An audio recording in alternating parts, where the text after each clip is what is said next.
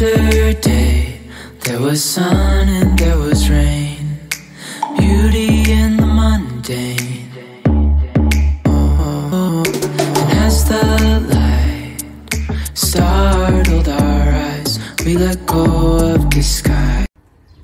Hi everyone, welcome to another episode of uh, Tea with Shawna and Jana.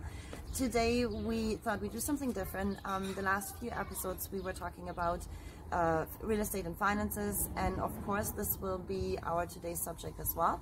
But we also thought we have a few gardening tips ready for you. Um, so yeah, just something different today. The weather here in Cochrane is great. It's super hot. We're in Shawna's backyard um, and as you can see she clearly has a green thumb uh, and yeah now it's summertime it's a good time to sell your home because everything blossoms and blooms and you know um, you'll benefit um, sorry your curb appeal benefits from that for sure. Um, and it doesn't take much to create a great curb appeal. Make sure you mow your lawn and you put out a few planters with nice flower arrangements and ensure there's no clutter or kids toys lying around. Um, if you love garden work as much as we do here are a few tips that are eco-friendly. Um, so first off is and I hate dirty fingernails. So how do you keep your fingernails clean while working in your backyard? So you just rub your nails across a bar of soap and uh, this will seal the underneath tips of your fingernails. After you finish gardening work, you just you can just brush it off with a nail brush. Um, and then another thing is uh, to reuse water from boiled vegetables. Do not throw out the water after boiling or steaming your veggies. Instead, pour uh, the nutrition-rich cooled liquid into your potted patio plants. They will love you for that. Um, recycle your tea and coffee grounds. You may not like the acidity of coffee or tea, but your plants definitely do, especially blueberries, gardenias, azaleas. Um, they really like it. Take your used coffee and tea grounds and sprinkle one and a quarter, uh, one and one quarter of an inch around the plants once a month uh, to keep the pH level on the acidic side. So remember with those boiled veggies, use cold water, let it cool down before you put it out there, otherwise you're going to cook your vegetables, and this beautiful Yes. sun is, is doing enough of that. I didn't know about the fingernails, so that's kind of cool. Um, I'll have to give that a try. So, how about controlling weeds? Because I know with my garden, I definitely get my fair share of those in there. They seem to like the nutrient-rich soil as much as everything else does, maybe even more.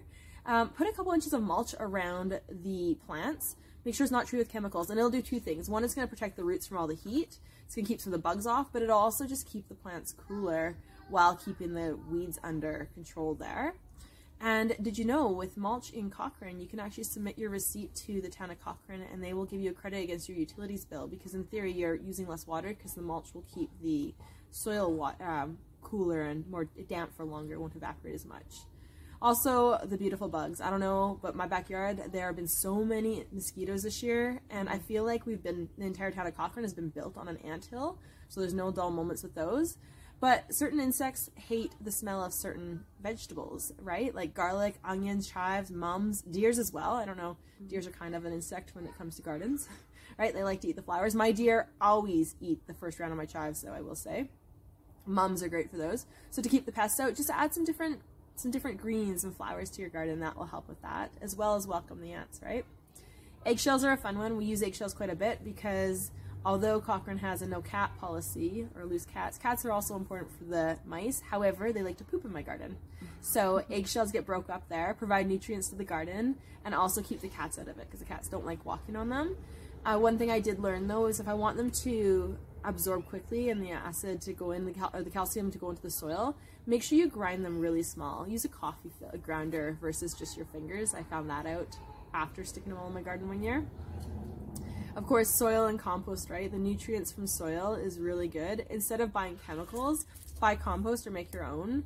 We, in the fall or the spring, you do get the free compost access in Cochrane, which is fabulous. But also through the year, you can get it from different sources if you want to add more into it. And compost is na- nature's best organic food. So spread it on your garden beds in the late fall, early spring to give your plants a natural boost. And then of course the mulch again, right? So your flower beds in the there's the mosquitoes. the, the mulch in the flower beds keeps it cool, controlled, and keeps it um, cozy. Keeps keeps it wet longer, which we definitely need with this heat. And how about that rain? Because, like it or not, it's coming back at some point. We get it early June. What if we use rain bales to connect, collect some of that rain, and then spray it on the garden during these warmer months? It would be a great way to make use of that water that's already falling, capture it through there, then you can feed your garden out with it with either the uh, the soaker hoses or whatever style you want. And rain barrels too are a credit towards your utilities if you send the receipt into the town of Cochrane. So keep that in mind. It's great ways to decrease your utility bills afterwards. Mowing your lawn, we actually have a battery powered um, weed eater, lawn strimmer, and a gas. I guess ours is gas, but if you use an electric or a manual mower, right, you can get the get your workout at the same time with those Lee Valley manual ones, and I love them. They give it a nice like nice choppy um, sound to it, right? Much more appealing to my ears than the gas ones for sure. But that'll cut on costs and just as good for the grass. So those are our tips. I do love my garden. I get pretty lucky. It looks pretty green. um, my kale is not very edible, so if you've got some rabbits or some other horses maybe that like greens, pigs, file free. Let me know and I'll share. I'll share it with you because I was not impressed with the taste of it. Um, but it looks pretty. Perfect. Yeah. Yeah, those are our tips for today. Um, the next episode will be um, the interest rates. Um, the interest rates just got increased, so we're going to talk about that in our next episode. And um, yeah, hope to see you then. Let us know if you have any questions you want us to answer. Thank you. Have a great day. And don't forget to sign up. Oh, yeah. Subscribe. see ya.